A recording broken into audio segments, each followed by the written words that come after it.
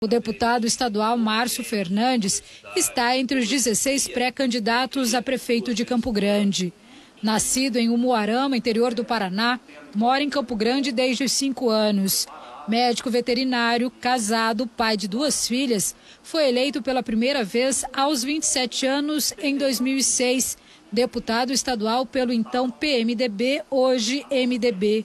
Márcio Fernandes está no quarto mandato de deputado estadual.